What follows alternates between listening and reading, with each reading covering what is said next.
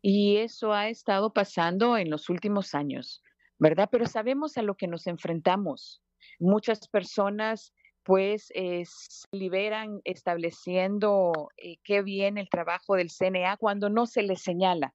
Pero una vez que nosotros entramos en otros ámbitos con otras personas y con otros partidos políticos, ya no somos la mejor instancia de sociedad civil combatiendo la corrupción, todo lo contrario. Hay que cancelar, hay que censurar, hay que disminuir el trabajo que nosotros estamos haciendo. Y mire usted, eh, no podemos desconocer que desde el gobierno se construye un mensaje que busca amedrentar, que busca callar las voces que consideran disonantes, orillando a las personas a no expresarse, a no demandar, a no señalar, en, definitiva, a no hacer oposición constructiva.